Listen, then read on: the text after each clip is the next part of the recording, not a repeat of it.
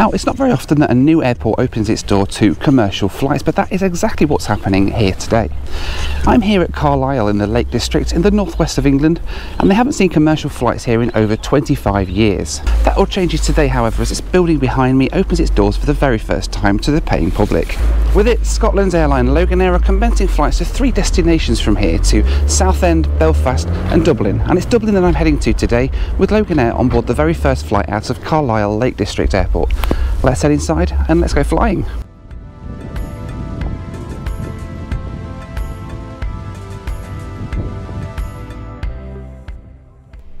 There's been an airfield on this site since World War II, when it was opened as RAF Crosby on Eden.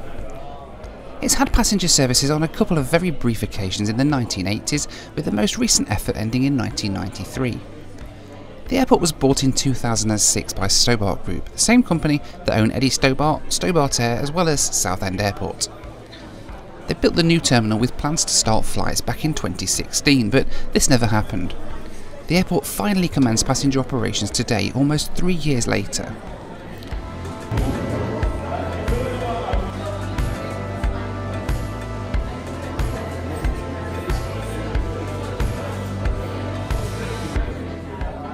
So here in the terminal building then at Carlisle Lake District Airport, there isn't really much here. It's not a very big building, but then you wouldn't expect it for three flights a day, five days a week.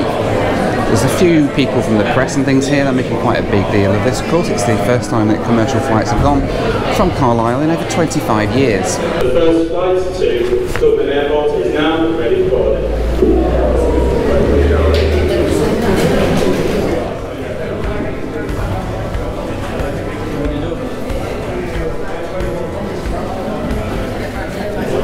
Okay, they've called our flight for boarding, just in the line for security at the minute. They've literally just shout the flight for boarding, and that's when you head through to airside. So I'm imagining there's not very much space through there. So. Once airside, there was even less space than in the departure lounge. It's perfect for the current operations of three flights a day at different times, but should they ever go to any more flights, I've got the feeling that they'll be pretty soon running out of space. Out on the apron, our aircraft was ready to take us to Dublin. Outside, the media were lined up ready to catch their scoop. ITV, the BBC, and numerous local radio stations were all here. This is a passenger announcement for all passengers flying on flight number LM035 to Dublin. Please make your way to departures. Here we go. My ride over to Dublin today is a Saab 340 that's actually operated by the Estonian airline NyxAir on a lease to Loganair.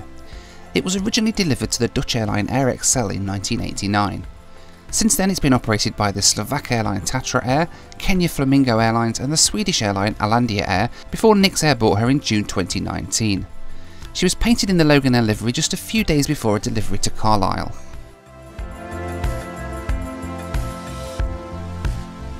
The safety cards are NyxAir rather than Loganair ones, the only indication inside the cabin that this isn't a Loganair plane. Good morning, ladies and gentlemen. This is your captain speaking. Welcome on board. And um, this uh, first flight from Carlisle to Dublin. It's an honor to, to be a part of this. And on my personal behalf, uh, I also want to welcome you so warmly. Flight hours, uh, or flight time, rather, is less than an hour. To be honest, uh, we try to make it in 55 minutes, and um, the weather at uh, Dublin is uh, uh, getting cloudier, but otherwise it's summery weather there as well. And um, I wish you enjoy this flight and fly us with us again. Thank you so much for coming. Thank you. Take off, please, and share that on your hand. Once everybody was on board, the doors were shut and we fired up our engines. Electronic devices must be in their flight safe mode, and any Bluetooth and Outside, we were being broadcast live to the world via BBC Breakfast News.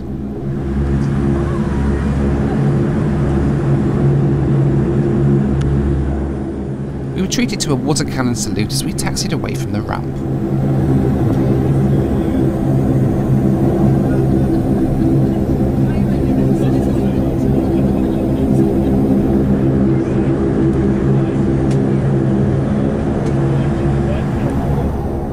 North of the runway here at Carlisle is the Solway Aviation Museum, which has got some cool exhibits, including this Vulcan bomber.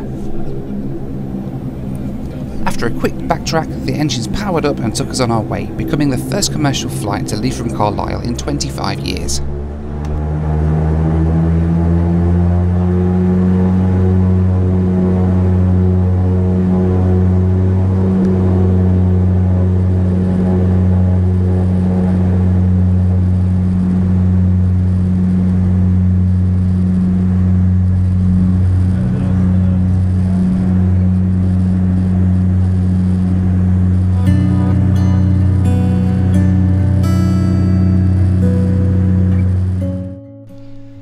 As we head towards Ireland, let's take a quick look at our route over to Dublin today.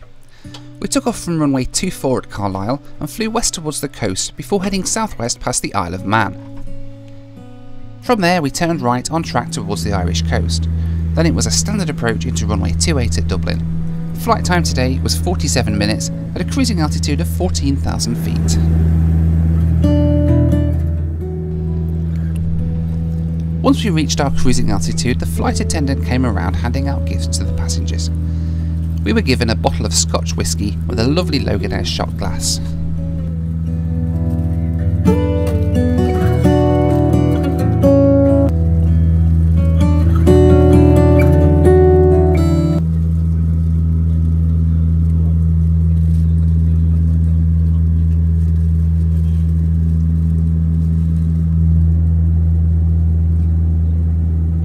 Loganair's in-flight magazine Flightlog had a great article about Carlisle Airport with the timetable. They're operating three flights a day, a return trip to Belfast, Southend and Dublin. They only operate them five days a week.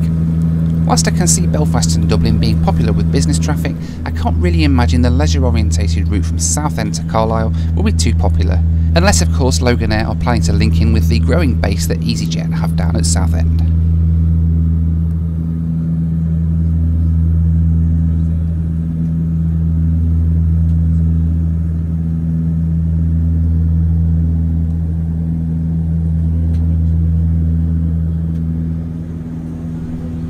Standard Loganair service commenced and we were given a choice of tea, coffee, savoury or sweet snacks. Of course I had to take a Tunnocks wafer, my favourite thing about Loganair's in-flight service.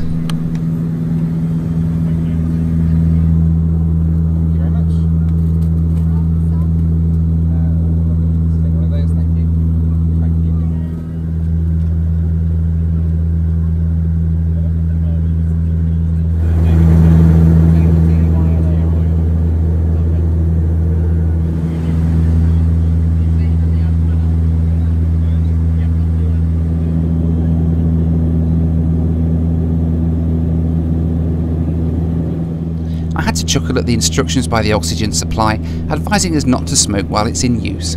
I wondered if that meant that we were able to smoke for the rest of the time.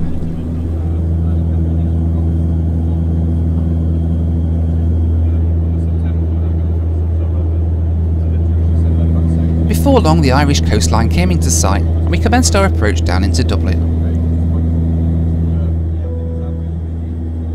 The ferry service from Dublin to Holyhead was heading out of Dublin below us. We made our approach down into runway 28 at Dublin.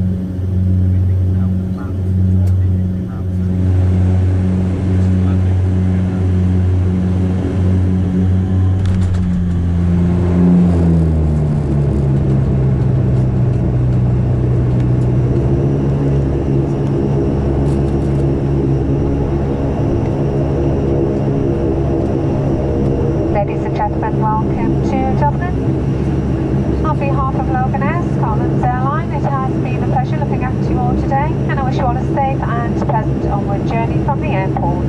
Thank you and have a very good morning. My flight to Dublin today on the inaugural flight cost me £59.99 or roughly 75 US dollars. This was for a distance of 175 miles, giving a cost per mile of 34 pence. Whilst this does seem like a pretty high price per mile, remember this is a short flight so the price per mile will seem a little bit higher.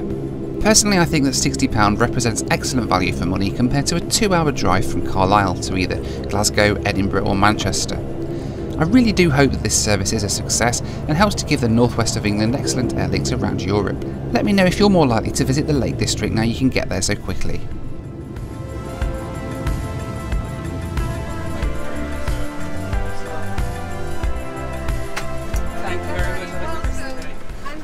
Carlisle Airport is now officially open for business. Thank you for watching, take care, and I'll see you next time here on In-Flight Video.